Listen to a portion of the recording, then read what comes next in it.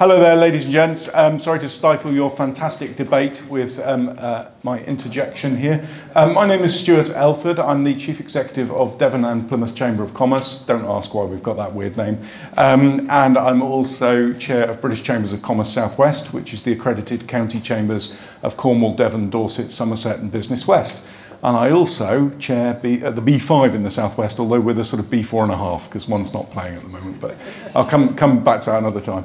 Um, so uh, the Devon and Plymouth Chamber has been designated by the uh, Department for Education as the employer representative body to deliver a local skills improvement plan for the heart of the southwest area. That's a massive mouthful to get out. So we're the ERB that's delivering the LSIP for the LEP in the HOSW. Anyway, you know, it's complicated. But um, this is what um, Lawrence and others have alluded to, the, the local skills improvement plan, what it is. And what it is, is it's um, government saying that the voice of the employer must be front and centre in future skills planning, which actually, if you think about it, makes total sense. And that's not to say that colleges and training providers haven't been doing that. They've been doing a lot of really good work. Um, but also, I think a lot of the time that's uh, quite by its very nature with some of the larger employers, and the LSIP says you must include all employers, all sectors, and look at exactly the sort of thing that this brilliant skills summit is looking at. So I hope we can steal all the um, answers that come out of this, because it is re really exactly the sort of questions uh, we'll be asking. And the point about this was, whilst you would never want to take away um, the choice of students to study what they want to study, that is disingenuous to them to put them through something that when they come out the other end, there aren't any jobs. And that's also disingenuous to employers who can't get the people they want to do the jobs they need. Um, and the example we give about this, so we don't offend anyone, is um, llama farmers. So llama farming may be a very, very interesting course to do. It may be very profitable for the college to put on. But we don't have that many llama farms in the southwest. So churning out thousands of llama farmers is not going to be what it's all about.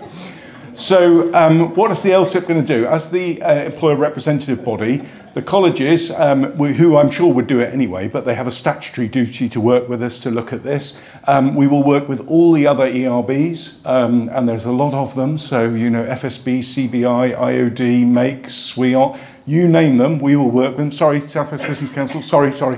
Um, uh, there's a lot of us about. Um, so we will work with all of those and, and lots of lots of employers.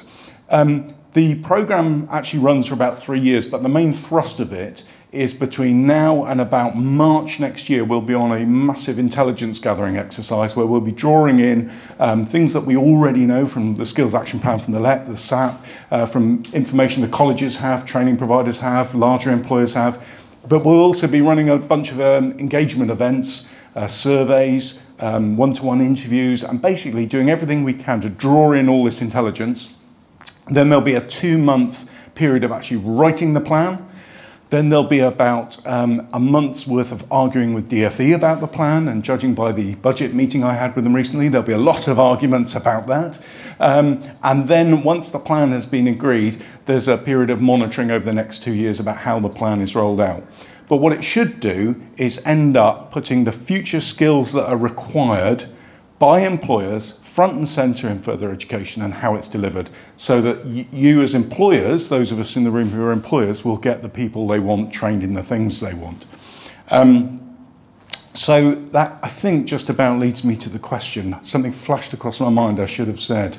But anyway, it doesn't matter. Um, um, so the question is, what are the future skills that are required?